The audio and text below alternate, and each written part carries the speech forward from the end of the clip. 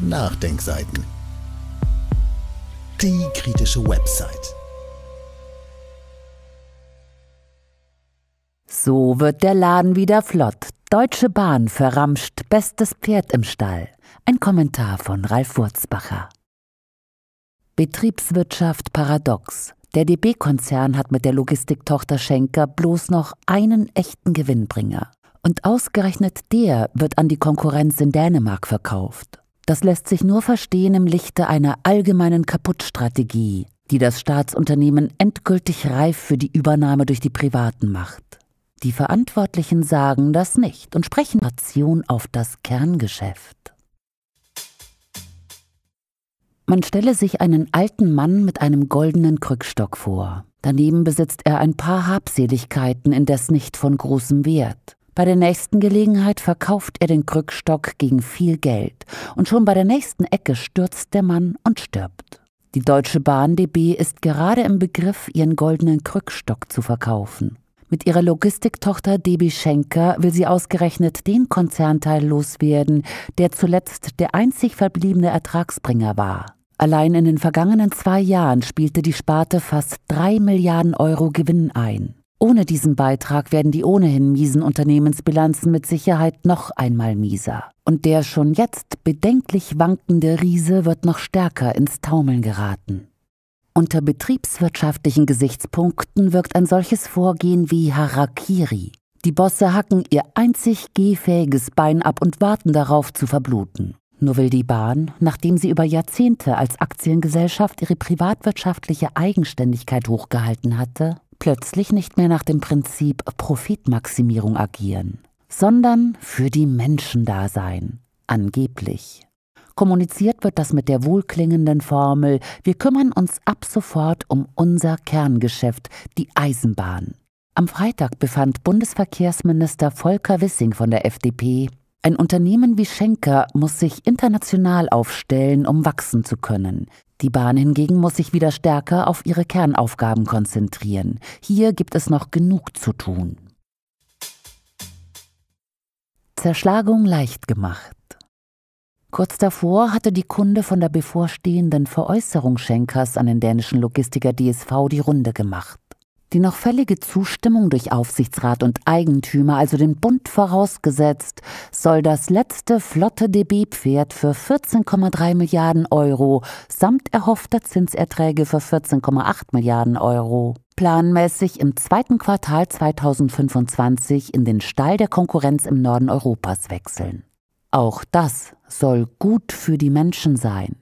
Ziel sei es, eines der führenden Unternehmen der Transport- und Logistikbranche zu schaffen und Deutschland zu einem noch wichtigeren Markt zu machen, verbreitete der DB Medienstab.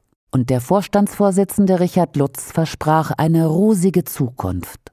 Im Einklang mit unserer starke Schiene-Strategie konzentrieren wir uns geschäftlich auf die gemeinwohlorientierte Schieneninfrastruktur in Deutschland sowie klimafreundlichen Personen- und Güterverkehr in Deutschland und Europa. Es gibt Leute, die dem Braten nicht trauen. Viktor Perli von der Bundestagsgruppe Die Linke sieht eine groteske Fehlentscheidung zum Schaden der Bahn. Den Nachdenkseiten sagte er, die Ampel verscherbelt öffentliches Eigentum zum Spottpreis. Ohne Schenker werden die Bahnschulden künftig schneller steigen. Das ist im Interesse derjenigen, die die Bahn zerschlagen und weitere Filetstücke privatisieren wollen. Die allgemeine Sprachregelung lautet freilich auch in diesem Punkt völlig anders. Die Schulden der DB, inzwischen weit über 30 Milliarden Euro, sollen durch den Erlös merklich gesenkt werden, denn geringere Verbindlichkeiten verhindern Einbußen bei der Kreditwürdigkeit und damit höhere Finanzierungskosten. Beschleunigte Talfahrt das stimmt zwar, allerdings werden die möglichen Ersparnisse die drastischen Einschnitte in der Gesamtbilanz nicht annähernd kompensieren. 2023 ergab für die Bahn ein Defizit von 2,4 Milliarden Euro, trotz der 1,1 Milliarden Euro, die Schenker erwirtschaftete. Im Jahr davor betrug der Schenker-Überschuss sogar 1,8 Milliarden Euro. Alles spricht dafür, dass die DB-Talfahrt anhalten wird. Im Fernverkehr reiht sich ein Unpünktlichkeitsrekord an den nächsten. Der Pannenbetrieb bei kaputter Infrastruktur und historischem Personalmangel, dazu die große Generalsanierung der maroden Schiene mit monatelangen Komplettsperrungen, werden noch mehr Fahrgäste vergraulen. Wie der Fernverkehr steht auch die Frachtsparte DB Cargo tief in den roten Zahlen, wobei die Aussichten für die kommenden Jahre mehr als trüb sind. Dazu kommen Investitionen zum Zweck der Netzertüchtigung, die, selbst in der unzureichenden Kleckervariante der Ampelregierung, deutlich über denen der Vergangenheit liegen werden. Und das alles will man meistern ohne den schönen Schenkersegen. Bei einer nicht allzu pessimistischen Prognose dürfte der Verkaufserlös schon in fünf, sechs Jahren von neuen Verlusten aufgefressen sein und der Schuldenberg wieder steil in die Höhe schießen.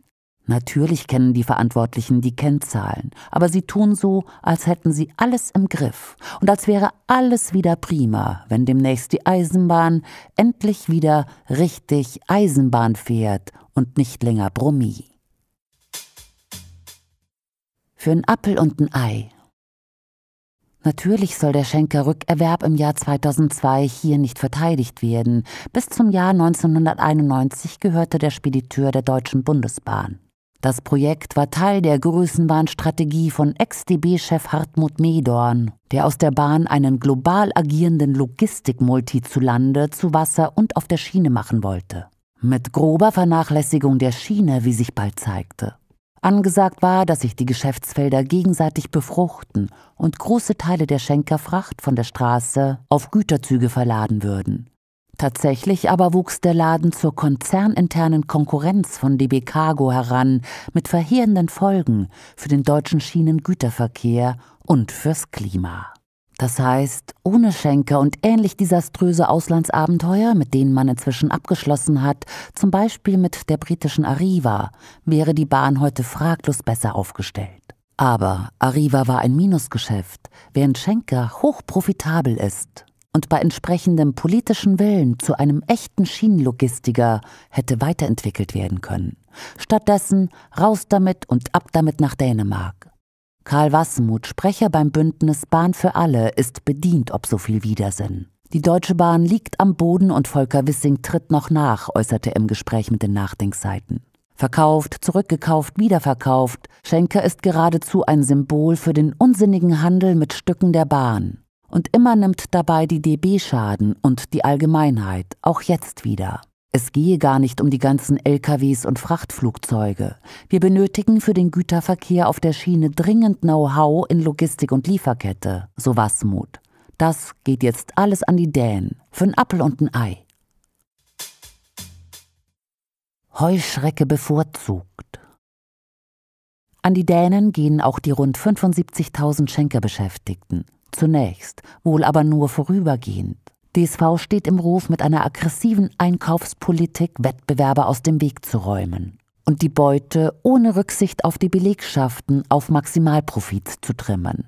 2019 schluckte das Unternehmen den Schweizer Logistiker Panalpina und setzte anschließend ein Drittel der Mitarbeiter vor die Tür. Bis voraussichtlich 2027 greift bei Schenker zwar eine Kündigungsschutzklausel, aber danach dürfte kein Job mehr sicher sein.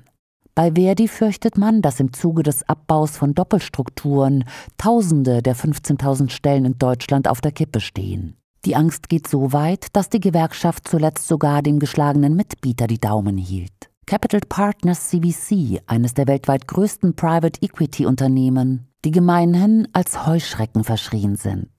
Ob die Macher die Arbeitsplätze geschont hätten, sei dahingestellt. Immerhin traten sie an, Schenker als Marke zu erhalten. Die Dänen dagegen werden wohl auch den traditionsreichen Namen ausradieren. In den Tagen vor der Entscheidung hatten Schenker-Mitarbeiter vor den Geschäftsstellen des Unternehmens gegen das drohende Unhalt protestiert. Den Entscheidern bei Bahnvorstand und Bundesregierung war das egal. Den Ausschlag pro DSV soll ein geringfügig höheres Gebot gegeben haben. So viel zum Narrativ. Alles zum Wohle der Menschen.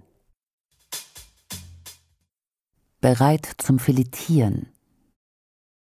Die Nachdenkseiten hatten zuletzt in einem an dieser Stelle verlinkten Artikel aufgezeigt, dass sämtliche jüngeren, durch Bahnführung und Bundesregierung getroffenen und geplanten Maßnahmen zur sogenannten Rettung der Bahn das exakte Gegenteil bewirken.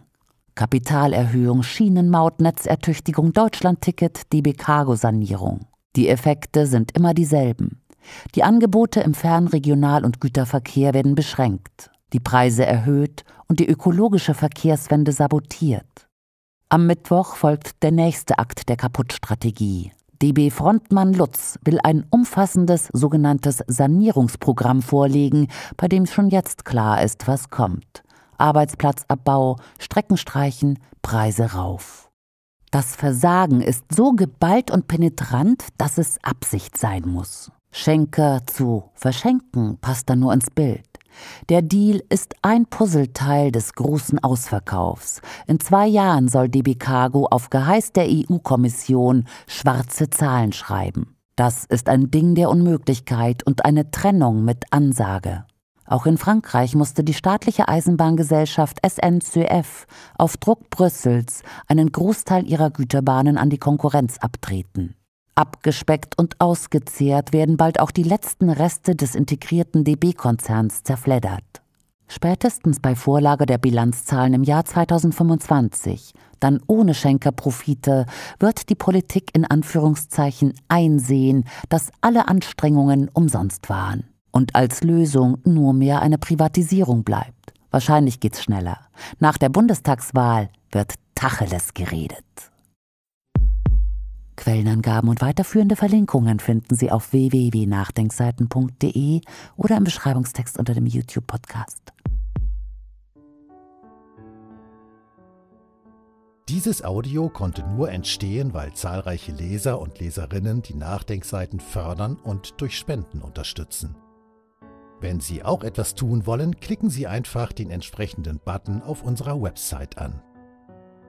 Übrigens, Sie können uns auch bei iTunes, SoundCloud und YouTube hören und wenn Sie mögen, gerne unseren Kanal abonnieren und eine positive Bewertung für uns abgeben. Wir freuen uns über Ihre Unterstützung und die Weiterverbreitung unserer Inhalte.